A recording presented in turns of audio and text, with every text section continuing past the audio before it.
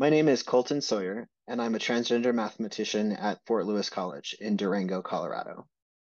When I was young, my mom likes to tell a story about how when I was in kindergarten, I would do my older brother's third grade math homework, and I was allowed to check his work at the end of the day, only after she discovered I was doing it on the first take. I didn't actually know I wanted to become a mathematician for a long time, and even now I'm not sure that that's really my path. But when I was in college, I switched majors three times until I decided I'd been taking enough math that I should probably just be a math major so I could actually get out of college. And then it just kind of happened from there that I ended up in mathematics and in teaching. So if you imagine yourself as a series of boxes with pipes connecting each box being your blood flow, and each box kind of like your liver, your heart, your kidneys, my research, at least in my dissertation land, was seeing how if you put a compound in the box, like caffeine, you drink a cup of coffee, how it goes through that system and sticks in some of the boxes like your liver how it affects your brain and how it gets like metabolized out of your boxes. So the fancy name for this type of research is physiologically based pharmacokinetic modeling which is kind of an intersection between toxicology pharmacology and mathematics I've also started doing some work in looking at how general education students stay in college. So persistence, retention, and what sort of things keep them connected to their college experience. In my senior year of college, I was in a really bad car accident. And some of what happened was that I I had some memory problems after that. I had a head injury and it just it just really kind of messed with things. So I graduated um, and I went on to a post baccalaureate program in mathematics, but I had to kind of reteach myself how to learn um, because I just I couldn't remember things the same way. I couldn't do things the same way. So a lot of that year was not so much about the mathematics that I had to learn to get into grad school. It was just learning how to learn again.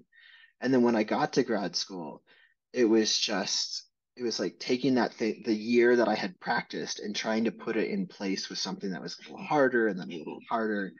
And it was it was a lot about overcoming adversity because I didn't want to admit to anybody that I had problems. I didn't want to use my resources and ask for extra time or you know uh, whatever the case may be I, I didn't want to say that i couldn't do something and looking back i should have said i need help doing these things because it would have made my life so much easier. Um, but it really, it really taught me about the strength that I had, but also how people who notice you struggling can step in and help mentor you through things and help guide you through things and just kind of keep an eye out on you throughout this process. One of my proudest accomplishments is in my first year of grad school, after all this trouble with my memory, I I actually got the highest score on one of my PhD qualification exams after almost failing the course. And I was just, I was so proud of myself for spending so much time over the summer and doing every single problem in that dang textbook and really understanding the material in a way that would stick with me. And even now, I still remember all that matrix theory that I did to pass that dang exam. I had two role models early in my career. The first was Ruth Haas, who was at Smith College. And she was just a person who taught me that math doesn't have to be the only thing you have to do in your life.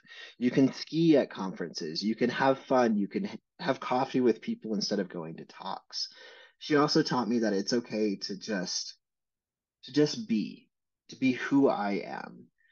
My second role model was Luke Helmink at NC State where he showed me that you can be uh, also just yourself. You can just learn how to be yourself and take the math classes you want to take and switch advisors.